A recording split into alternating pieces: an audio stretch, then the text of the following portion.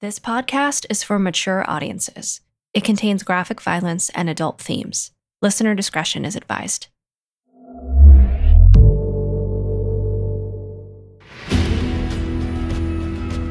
Realm presents Blood and Gold, starring Richard Cabral. Episode 8. 1851, Murphy's Diggings, California. Amidst debate over the rights of racial minorities and women across the United States, Virginia closes its Reform Constitutional Convention, granting all white men in the state the right to vote. Marshal Jacob Schmidt's place above the town jail was nothing to brag about, but it came free with the badge, which, I learned, had come as a reward for his part in hanging my brother. It seemed the town's fathers thought Schmidt had the right attitude when it came to greasers. I had a different reward in mind. When he stumbled home this night, it was obvious he'd been drinking. He was through the door and inside the apartment before he registered that he was not alone. I sat at a rough wooden table with both barrels of a shotgun pointing at him. Remember me? Schmidt stopped just inside the door. He bumped it with his rear, and it swung closed, startling him and pitching the room into near darkness, with only one window letting in a little moonlight. he managed, but got no further than that. Light! Valenzuela, lurking in the dark, struck a match and touched it to a candle which he set on the table in front of me. I wore all black, at least as far as Schmidt could see. My hat was pulled low over my brow. Schmidt gawked at me as though trying to place my face. His gaze darted briefly toward Valenzuela, who remained shrouded in shadow. Think back. You hanged my brother. Recognition dawned in his eyes. You're him. You stole Lang's mill. I did nothing of the sort, as I think you know. And neither did my brother. I'm sure you know that too. My voice was as calm as if we were having a neighborly chat. My hands were steady too, as were those barrels pointed his way. Look, mister, all I know is that was Will's mill, and he got it back. I got no quarrel with you. I think you do. Or at least, I have a quarrel with you. Your fight's with Lang, not me. A newspaper rattled in his hand, and he threw it down on the table just to be rid of it. His obvious peril appeared to have sobered him up fast. He had a pistol at his hip, but if he reached for it, I could open it up with those barrels and cut him in half. I don't want any part of it. You made yourself part of it. I saw nobody forcing you. So, so you're here to kill me? That's the general idea. But not so quickly. If not for you, my brother would still be alive. I feel you should suffer first before you die. Give you time to dwell on your sins. Face with slow death by torture Schmidt chose action over surrender. He dropped abruptly to the floor, landing hard on the planks. My shotgun went off, its roar deafening in the little space, but it was still aimed at where Schmidt had been. My shot tore into the wall behind him. Schmidt grabbed a leg on the table and shoved it toward me. The candle flew off the table, bouncing off me, and went out before it hit the floor. Valenzuela cursed but held his fire, no doubt reluctant to shoot in the dark. Schmidt moved quickly, yanking out his gun with his right hand and wrapping his left hand around the chair leg as he pushed to his feet. Without slowing, he hurled the chair and it crashed into me, slowing me down. He snapped off two quick shots at where he thought Valenzuela was and raced for the bedroom. Valenzuela and I followed. As Schmidt threw the bedroom window open, he fired twice more back through the doorway into the front room to discourage pursuit. Despite his bulk, he managed to squeeze out the window, only to be grabbed by a pair of powerful hands that tugged him through the gap and onto the pitched roof where Tres Dedos was waiting. Through the window, I saw what happened next. Schmidt fell, sprawling onto the roof. He lost his grip on the pistol and it slid toward the edge, but Tres Dedos' booted foot halted its descent. My cousin stood before him, lined by moonlight. He looked as big and solid as Schmidt himself. In his right hand, he held a long knife that put me in mind of a pirate's cutlass. Tres Dedos grinned. Going somewhere, my friend. Schmidt slowly got to his feet and jerked a thumb toward the window. He looked hopefully at my cousin, as though desperately seeking an ally. Men in there, trying to kill me. You don't say. They all. My gun. Oh, this is yours. With a quick motion of his foot, Tres Dedos skidded the gun behind him and over the edge. At the same instant, he lunged forward, driving that wide, curved blade into Schmidt's gut. He yanked it free again, and blood splashed the roof. Schmidt dropped to his knees, hands across his midsection, trying to hold himself together. At the last moment, though, he must have realized his mistake because he had just put his throat within reach of the attacker. Moonlight glinted off the blade as Tres Dedos drew it back and slashed toward him. Schmidt's head slapped the roof before his body did. I wanted him alive. I told Tres Dedos watching from the window as my cousin finished the job of sawing off Schmidt's head. Blood ran in rivulets to the edge of the roof and spattered on the ground below. Tres Dedos shrugged. So you did? But when I heard the shotgun, I figured you changed your mind. Wow. Oh, he didn't cooperate. Does that surprise you? Hazlo rápido. People will have heard the shots. They'll be here any moment. This is my vengeance too, Joaquin. Jesus was your brother, but he was my cousin and my best friend. I owe these bastards a debt. Tres Dedos finished his grisly work and raised his head high. Ya está. Toss it into the street, right in the middle, where no one can miss it. Tres Dedos lobbed the head over the edge of the roof. It arced out and dropped into the center of the road. Vámonos! Ahora, rápido! Tres Dedos took a last, long look at the corpse and the river of the blood flowing from it, then hurried to the window. Valenzuela and I helped him through the opening, and we rushed back toward the door. On the way out, I spied the newspaper Schmidt had dropped. Moonlight revealed a bold headline across the top saying, Meal payrolls robbed in deadly ambush. I snatched it up, and together we raced for our horses waiting at the side of the building. We hadn't gone far before we heard the screams of whoever had first happened upon Schmidt's head.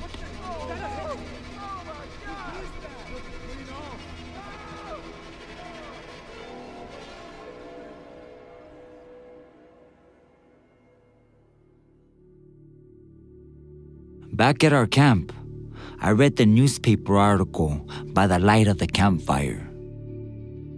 More Mexican murderers.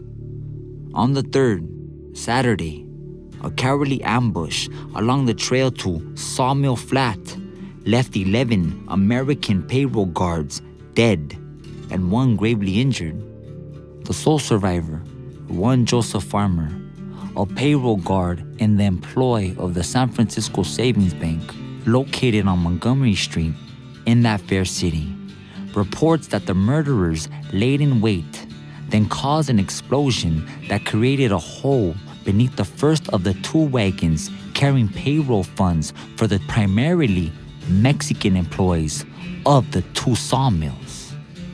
In the confusion caused by the explosion, the murderers opened fire upon the guards, who fought back bravely, but were outnumbered. All of the killers were Mexican, Farmer describes, and seemed to be led by one called Joaquin, who Farmer says was short, stout fellow with, with more gold in his mouth than ivory? Several men called out the name of Joaquin, who provided medical aid that allowed Farmer to live when all others had died. As a further atrocity, one of the killers beheaded a man. That murderer had only three fingers on his right hand and is believed to be the outlaw known as Three Finger Jack. At that, I hurled the paper to the ground. Damn you to hell, Valenzuela! Valenzuela looked at me with questioning eyes. What did I do? This newspaper thinks you were the leader of the attack on the payroll wagons. Me? Why? It says everybody was calling for Joaquin, and you helped them bind the survivors' wounds. So he thinks you're the Joaquin everybody looked to for orders. Wow, that's not my fault. He was right. It wasn't his doing, and the realization calmed my anger somewhat. Raising my voice, I announced to my men that from now we would speak English whenever we were around Americans. Tres Dedos frowned. He was sitting cross legged on the other side of the fire, with the jug between his thighs. Always. Unless we're addressing someone who doesn't speak English, or we're in Mexico. There, we're not bandits. In America, we are and American bandits speak English. Tres Dedos came over to sit beside me. This troubles you. I lowered my voice. This was one of the lessons of leadership. I thought, don't display weakness, even perfectly human weakness, in front of your men. It does. Perhaps it shouldn't. Pride is one of the deadly sins after all. But damn it, that wasn't Valenzuela's plan. It was mine. And it worked. It paid off handsomely. That it did, Joaquin. And the men know it was yours. Even if that newspaper is ignorant, they all look up to you. It wasn't the newspaper. It was the man I told you to spare. He misunderstood the situation and described Valenzuela as the leader. Now the whole world thinks it. I'm sure the whole world doesn't read this. You're right. Of course, cousin. I'm overreacting. It shouldn't matter to me. But it does. You wanna be famous. I don't care about fame. But I wanna be feared. I want other Americans to think twice before laying a hand on an innocent Mexicano. That's a noble goal. Tres Dedos leaned forward, pulled a stick from the fire, and lit a cigar from it. Sparks drifted into the air. I do have another task to perform before we leave Murphy's. But it will be a pleasant one for a change. Can I help? No. This one I should do alone. It won't take long. I'll leave at first light, and I'll be back before noon.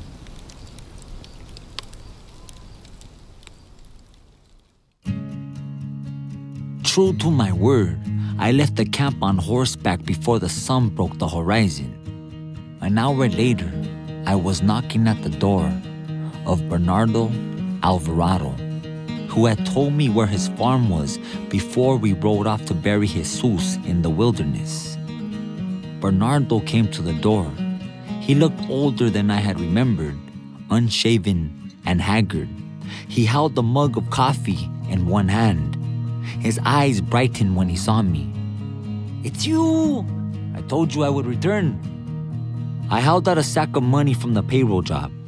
It was a mixture of American eagles and double eagles, Mexican pesos, Spanish reals, and doubloons, and in exchange notes from the San Francisco Bank. What's this? I told you I repay your friend tenfold for the horse. A good animal she turned out to be too. I'm still riding her. I gestured over my shoulder toward where the mare waited at the gate. This is probably more than tenfold, but your friend deserves it. I thank you, sir. He'll be delighted. He never expected payment. Tell him that Joaquin Murrieta always pays his debts.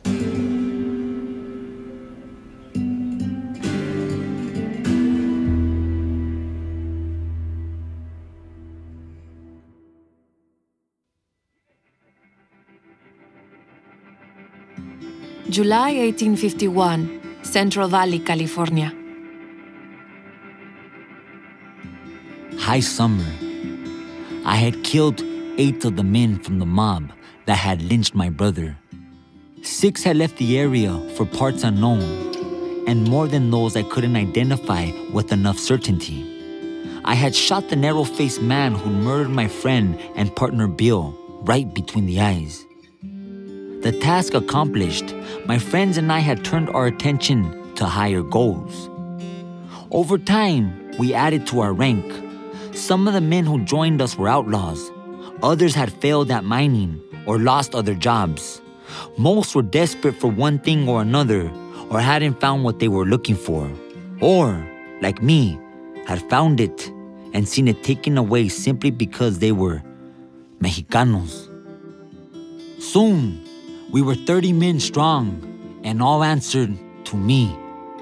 I set few rules, but for most among them was that Mexican people were to be treated with respect at all times. Those in need were to be helped if at all possible.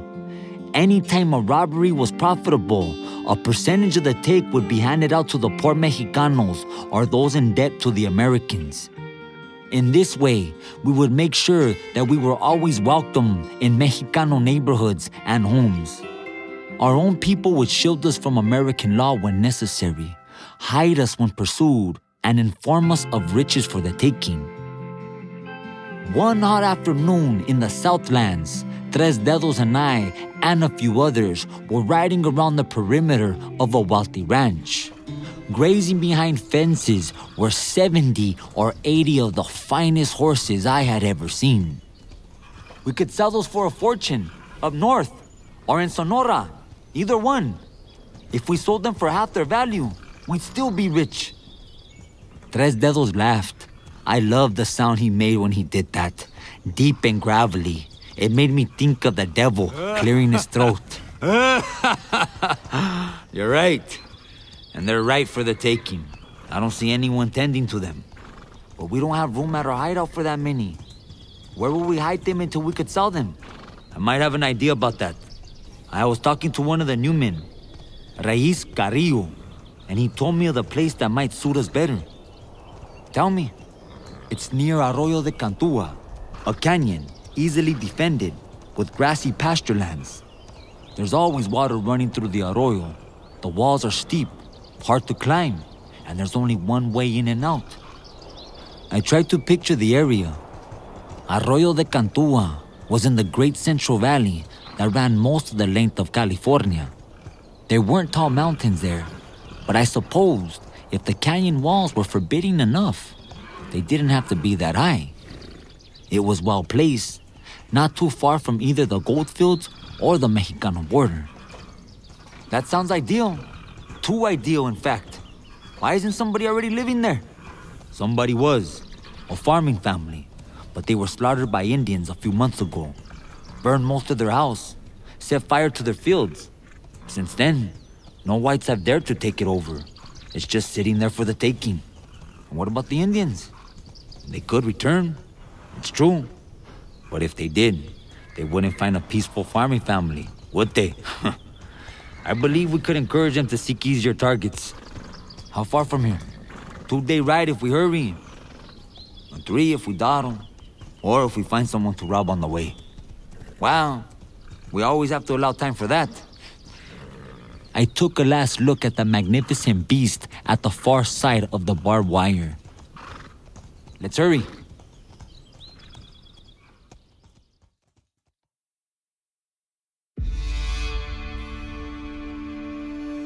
The ride north was rushed, across country, hammered by the sun. But when Carrillo showed us the canyon he described, I thought it all worthwhile. It was even better than he said. The entrance to the canyon was barely wider than the span of three horses, standing nose to tail. but the walls rose steep and sheer around it, forming natural barriers to anyone who might want to bypass that narrow opening. Sitting in a huge, grassy meadow inside the canyon were the remains of the farmhouse, partially burned, but stone walls and a chimney still stood, offering at least some shelter from the elements. Tall cottonwoods shaded the house, adding to its appeal. Whatever crops they had been growing had been well and truly torched, which didn't bother me much as I had no interest in farming.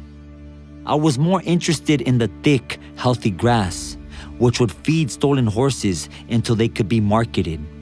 Water trickled down the cliffs from a hidden spring and ran across the canyon. Riding close to Tres Dedos, I indicated a stretch of land toward the rear of the canyon. We can plant posts there and run fences between them. They'll keep the horses pent up, but nobody passing by would see them. And if they come into the canyon, they'll have other problems to worry about. Tres Dedos nodded and pointed to the tops of the cliffs on either side. We can station men at the high ends. From up there, they'll be able to watch anyone approaching well before they got close. If they can get up there, we can find some who are good climbers. They can affix knotted ropes to trees or brush at the heights, and then we'll have ladders up and down. But no one approaching from the outside will be able to do the same without being seen. Good idea. It's a natural fortress. Let's hope we don't need one. If we don't, then we're lacking in ambition.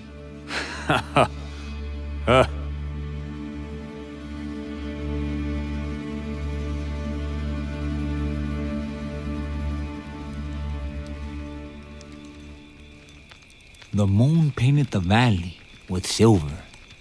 The buzz, whine, and chirp of insects filled the air. Tres Dedos and I and four others moved slowly across the grass because the racket stilled when we approached, and we didn't want to alert the men around the dying fire to our presence. But we were in no hurry. The night was long, and the later it got, the sleepier our intended targets would be. Already two had left the fire and curled up to sleep, their snores soon adding to the general din. That left two awake, smoking and talking softly. Four horses were tethered nearby, seemingly asleep on their feet. After a while, Gregorio Lopez leaned toward me and whispered, I can get them both from here. Two quick shots. Easy. Lopez was the best marksman of the group. Two men outlined by glowing embers would be child's play for him. No, I want to avoid any shooting until we're done. We didn't know how many other men might be scattered around, though two days and nights of observation hadn't revealed any significant numbers. The ranch boasted plenty of hands, but few stayed out on the range with the livestock. Still, the sound of gunfire on a quiet, windless night might travel far enough for those in the bunkhouse to hear. I didn't want to bring them running. We worked our way closer until we were less than 20 feet away when one of my men stepped on something that made a sharp cracking sound. Instantly, the two men at the fire shot to their feet. Who's there? The man who'd spoken held the rifle loosely in his hands, but didn't know where to point it. I didn't move, didn't breathe. I held out one hand to keep the other still. The rifleman's companion sounded anxious. Just one of them horses, maybe. I don't like it. I spread my arms, and my men responded by putting some space between us, moving ever so quietly. But the two at the fire were on alert. Both had guns out, and they weren't going to relax now. One was already nudging the sleeping men with his foot, waking them. This wasn't going according to plan. Go! At my command, all six charged toward the fire from different directions. The men on their feet fired blindly. The other two threw back blankets and grabbed for weapons. Too late, though. My men closed the gap in moments, knives out. My bowie knife slashed the man with the rifle across his forearm. He cried out and released the gun, and I closed on him, driving the knife into his gut again and again. Hot blood splashed my hand and chest, and the man tried to claw my face until weakness overtook him. Beside me, Tres Dedos had grabbed the other gunman from behind and drawn his machete across the man's throat. The other two hadn't even found their footing before they were swarmed, overwhelmed. Before the last of the ranchers was killed, I gave the orders to spare his life. He bled from his wounds on his arms and chest, but he would live. Take his weapons. My men obeyed, checking the fallow for hidden guns or knives. Then Lopez and Pancho Dominguez hauled him to his feet. He was afraid, but he tried to put on a brave face. Who are you? What do you want? Just these fine horses. We mean you no harm. The man eyed his fallen companions. Don't look that way. You would have objected to our taking your livestock. We couldn't have that. You'll have half the county on your trail before sunrise. Those shots were heard for miles. Perhaps. It's a chance I'll take. The man studied me and my companions in the moonlight. When he recognized Tres Dedos, his mouth dropped open. You're Three Finger Jack. So I am. You've heard of him? Everyone's heard of him. He's a man killer. You honor me. I gestured at the man's chest with my knife and told him to strip. You heard me? Take off your clothes. My, my, my clothes? You asked a lot of questions for a man whose life I've just spared. Off with them. The man shrugged and unbuttoned his shirt. He was still bleeding, and the fabric stuck to his wounds. He winced when he pulled it away. Keep going. You ain't never seen a naked man before? Don't make me change my mind about sparing you. If you want to live, strip and shut your mouth. Quickly. The man kicked off his boots, dropped his outer shirt and his cotton undershirt on the ground, then shed his pads. He was lean, rangy, his arms and legs crisscrossed with scars. You've had a hard life. Who hasn't? Now the drawers. For real? You're not chasing us. If you want to run for the bunkhouse, you can.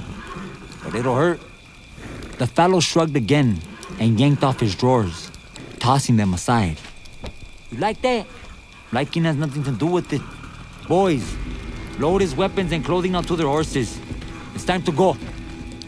Dominguez had gathered their horses. He was a veteran of the American War and knew a lot about horses and other military matters. He and Lopez stashed the weapons of all four men, along with the naked rancher's clothes, and then all six of us mounted up. I leaned out of my saddle toward the man. I am Joaquin Murrieta. One day you'll tell your grandchildren about this. I glanced down at the man's exposed groin. That is, if any woman would be interested in a man with such little to offer. Laughing, I pulled out a pistol and fired two shots in the air, paused a moment, then added a third. At the signal, men stationed at the fences knocked down two sections to create an opening. Other men, mounted, rode in and circled around the ranch's horses, whooping and firing guns, herding the horses toward the opening. The others and I joined in. Stampeding animals in the dark was always dangerous, but it wouldn't be dark for much longer. Besides, these animals were pure profit. If we lost a few, we were still out nothing but time and effort.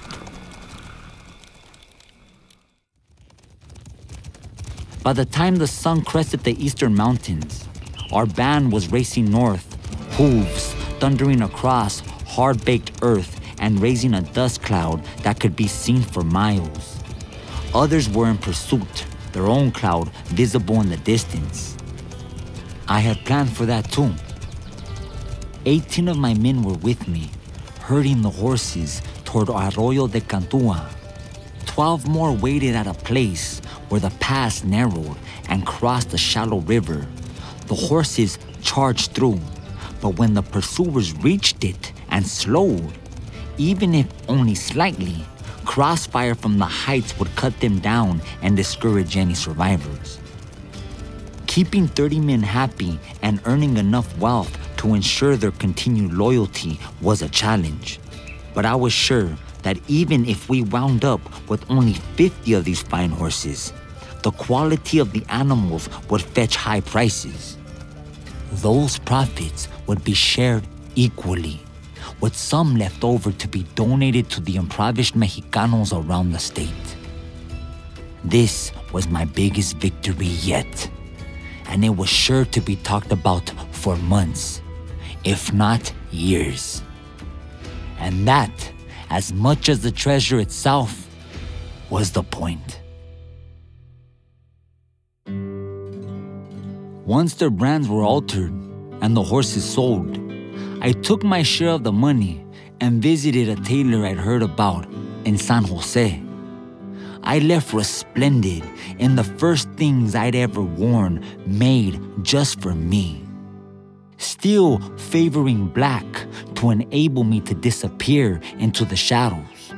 My shirt was elaborately embroidered and fitted with silver buttons.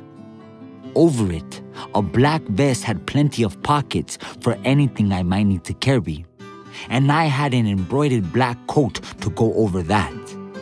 My pants were snug, the outer seams lined with silver conches I continued my habit of wrapping a scarlet sash around my waist.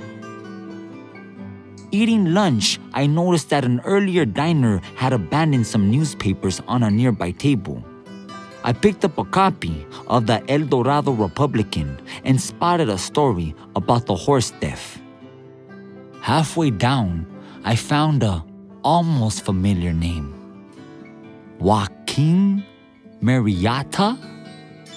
Some reports from Murphy's diggings speculate that this is the same man responsible for more than a dozen vicious murders in the spring, including the brutal beheading of the town's marshal.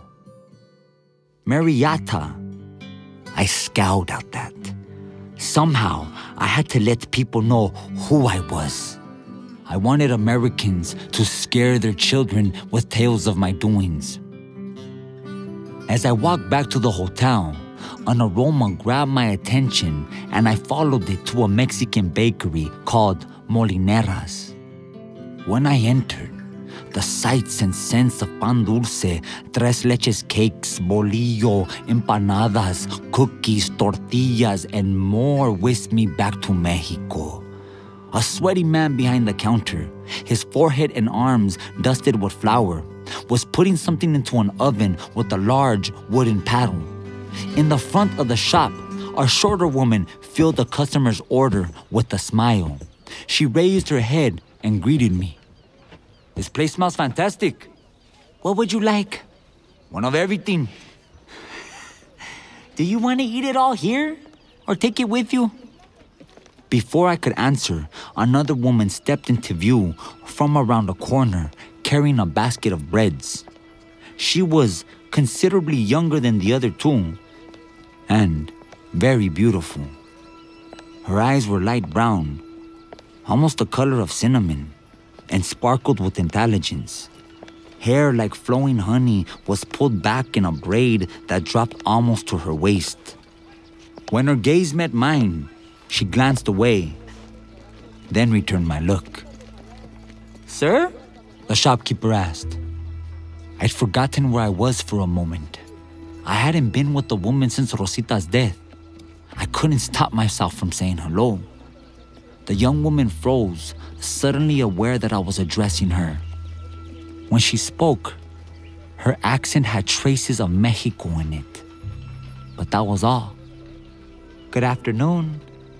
My mother asked you a question. Your mother? The young woman nodded her head toward the older one, still waiting at the counter for my order. I looked her way for an instant, but my gaze returned to the younger woman almost instantly. I'm Joaquin Murrieta, and you are Antonia. Molinera. She gave me a brief curtsy and set down the basket. The shopkeeper cleared her throat. My daughter. My pleasure to meet you. I was drawn in by the aroma, but I was rendered speechless by your loveliness. But obviously not speechless. Antonia's voice was stern, but the smile never left her eyes. She was perhaps a few years older than me, but something in her carriage, the planes of her face, and her sly smile suggested that she was far more worldly. Of course, I was no longer the innocent boy I had been when I'd wed Rosita and run away to America. Once again, the shopkeeper intruded on my thoughts. Senor, what would you like today? My daughter is not on the menu. My stomach was no longer the part of my anatomy on my mind, but I had to buy something or the woman would throw me out. Her basket, Her basket is not for sale. Everything in it then, Everything? and the basket, but only if she will bring it to me. The shopkeeper studied me. I was glad I was wearing new, tailored clothes and hoped she didn't pay attention to my beat up boots and hat. For the most part, I looked like a well to do gentleman. The shopkeeper opened her mouth to protest, but her daughter spoke first. Of course. It'll be the biggest sale of the day. Add it up, mother. Antonia picked the basket up off the work table and carried it toward me. At the counter, she did a half spin that ended with an aggressive thrust of her hip, and she stopped before me, holding the basket at her waist. Delicious. My gaze left no doubt that I didn't mean the breads. I'm sure you'll find them so. My father's the best baker in San Jose. I'm glad I happened into his shop then. And I do have a taste for baked goods. Is that all? Oh, no. I have a fondness for many of life's pleasures. Perhaps I could see you sometime and we could discuss them. I hardly know you, with a chaperone if you wish. Still, Senor Molinera, might I have the privilege of accompanying the young lady? The baker looked up from his work, kneading dough on a table. The girl knows her own mind. Then I have your blessing. Shall she agree? She's been her own creature for years now. If she agrees, she agrees. I turned back to Antonia. She still wore that smile, but I couldn't tell if it spoke of interest or merely patience. A walk then. when I know you better, not before. But how will you get to know me? She ticked her head toward the basket of breads. When you finish those, you'll need more.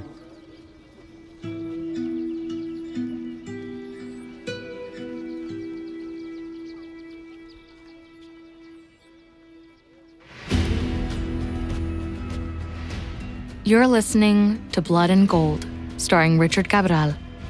Blood and Gold is a Realm production in association with Striker Entertainment.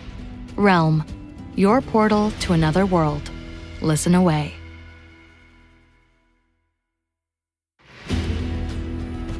Blood and Gold stars Richard Cabral, based on the novel Blood and Gold The Legend of Joaquin Murrieta by Jeffrey J. Mariotte and Peter Murrieta.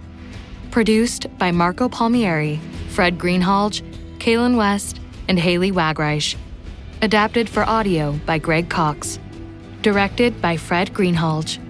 Executive produced by Molly Barton, Marcy Wiseman, Russell Binder, Peter Murrieta, Julian Yap, and Richard Cabral. Historical notes read by Elena Ray. Spanish dialogue translated by Alana Graffam. Regional dialect coaching by Luis Armando Mercado Campos. Sound design by Eric Mooney. Mixing, mastering, and additional sound design by Rory O'Shea. Audio editing by Corey Barton. Original score by Juan Carlos Enriquez. Music supervision by Marcus Bagala. Production manager Alexis Latshaw. Production coordinator Angela Yee. Casting by Sunday Boling and Meg Morman. Cover art by Kendall Thomas. Executive in charge for Realm, Mary Asadolahi.